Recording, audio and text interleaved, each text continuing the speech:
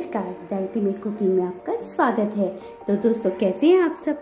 आज मैं आपके लिए लेकर आई हूँ बिल्कुल ढाबे स्टाइल पनीर की रेसिपी जो कि बनाने में बहुत ही आसान है और खाने में तो बहुत ही ज़्यादा टेस्टी है। ना बहुत ज़्यादा झंझट है सब्ज़ी को बनाने के लिए और बनकर बहुत ही मिनटों में तैयार हो जाती है। तो चलिए, देर न करते हुए स्टार्ट करते हैं। ढाबे स्टाइल का पनीर बनाने के लिए सबसे पहले हम कर लेते हैं ग्रेवी के लिए तैयारी। इसके लिए मैंने ये तीन प्याज छः सात कलिया लहसुन की, एक इंच अदरक का टुकड़ा और तीन टमाटर, जिनको मैंने नीचे से क्रॉस में कटिंग कर लिया है, ले लिए हैं। अब पहले मैं इन सब चीज़ों को बॉईल कर लूँगी। देखिए, एक कढ़ाई में मैंने पानी डाल दिया है थोड़ा सा और मैं इन सारी चीज़ों को इसमें बॉईल करने के लिए डाल दूँगी और करीब पाँच छः मिनट इन्हें ढककर लो टू मीडियम फ्लेम पर बॉईल होने दूँगी। देखिए दोस्तों करीब पाँच छः मिनट हो गए हैं। हमारी सारी चीज़ों को बॉयल होते हुए आप देख सकते हैं कि टमाटर की स्किन भी अच्छे से निकलने लगी है और ये सारी चीज़ें अच्छे से बॉयल हो गई हैं। अब आप गैस का फ्लेम बंद कर दें और इन सारी चीज़ों को निकाल लें।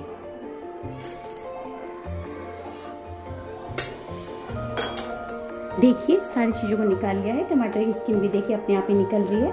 आप टमाटर की स्किन निकाल दें और इन्हें थोड़ा ठंडे के होने के बाद मिक्सी में अच्छी तरह ग्राइंड करके प्यूरी जैसा बना लें। हमारी सारी चीज़ें ठंडी हो चुकी हैं। अब इनको मैं थोड़ा सा चाकू से कट करके छोटे पीसेस कर लूँगी और मैं इन्हें मिक्सी में डालकर ब्लेंड कर लूँगी। इस तरीके से कट करके डालने से बहुत आसानी से ग्राइंड हो जाएँगे।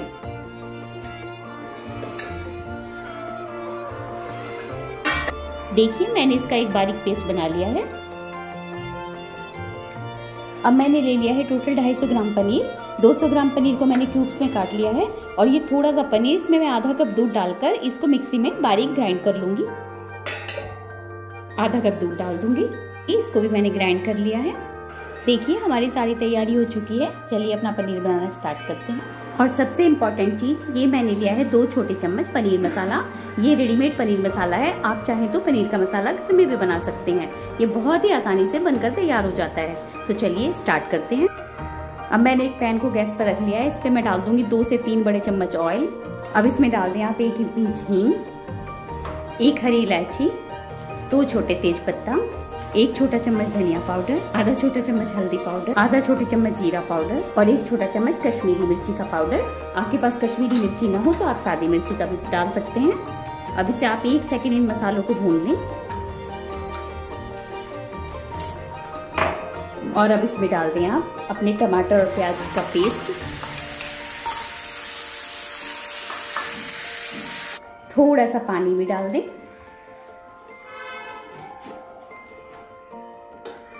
और अब इसमें डाल दें टेस्ट के अकॉर्डिंग नमक। पहले इसमें एक उबाल आने दें। देखिए, हमारी ग्रेवी में उबाल आ गया है। अब इसे आप करीब दो से तीन मिनट बिल्कुल सिम गैस पर पकने दें, ढककर। अब आप इसे ढककर दो से तीन मिनट बिल्कुल सिम गैस पर पकने दें। देखिए, करीब दो तीन मिनट हो गए हमारी ग्रेवी को पकते हुए। आप देख सकते हैं हल्का हल्का ऑयल भी सेपरेट होने लगा है।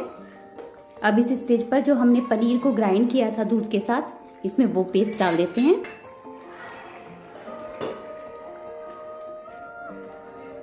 और इसी से मैं डाल देते हैं एक चम्मच मलाई। इससे बहुत ही अच्छा टेक्सचर जो है हमारी ग्रेवी में आता है।